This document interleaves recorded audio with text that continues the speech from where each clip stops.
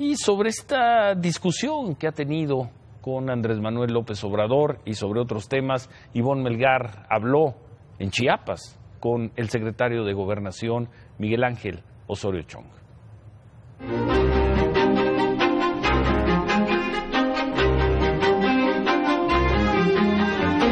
y al secretario de Gobernación, Miguel Ángel Osorio Chong. Muchas gracias por su presencia.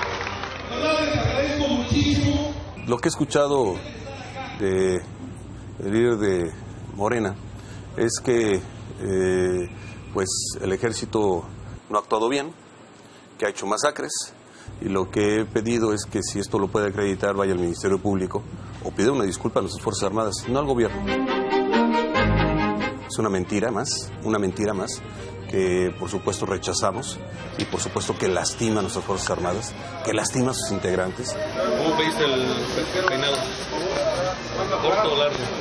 Miguel Ángel Osorio Chong lleva dos semanas rebatiendo a Andrés Manuel López Obrador. No puedo permitir esas acusaciones como secretario de Gobernación y como coordinador del Gabinete de Seguridad. No porque lesiona al Estado mexicano, no porque lesiona al país y no porque lesiona- nos lesiona absolutamente a todos.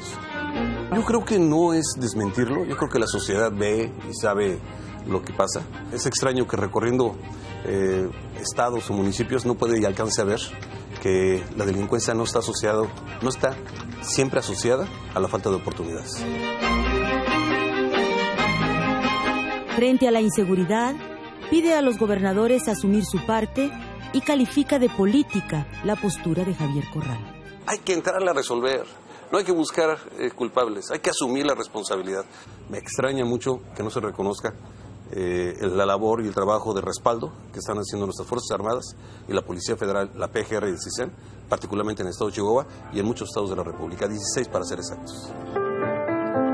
Reclama respuestas legislativas al problema de las policías y cuestiona el mando mixto propuesto por el Congreso.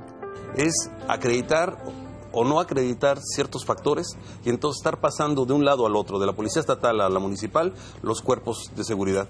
Y esto entonces lo que va a hacer es exactamente lo que está pasando, una laguna que aprovechan los delincuentes. 600 municipios no tienen cuerpos de seguridad, algunos tienen, de los otros 900 municipios tienen solo 20 integrantes de sus cuerpos de seguridad, algunos y la mayoría 12 llevamos dos años politizando este tema.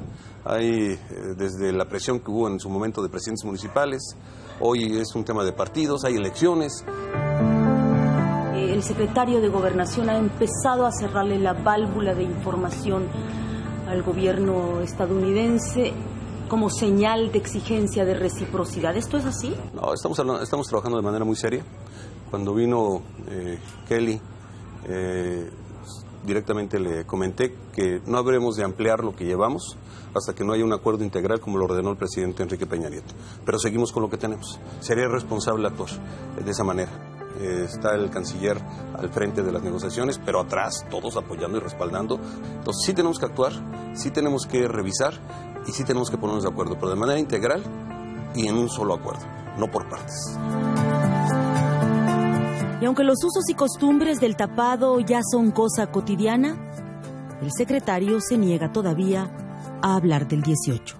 Si de por sí ahora en cualquier tema eh, señalan que es porque hay aspiración eh, que nunca ha expresado, eh, hay todo un tipo, tipo de señalamientos. Imagínate si empezáramos a hablar del mismo. Yo creo que actuar responsablemente dentro de un gobierno es seguir trabajando, es esperar el momento electoral oportuno y que también eh, mi partido eh, entre en ese proceso. 2017 todavía al frente de las Todavía, de bueno, eso lo decide el presidente. Lo que digo es que mientras esté en la Secretaría de Gobernación, seguiré con eh, mucha fuerza, con mucha voluntad de servir.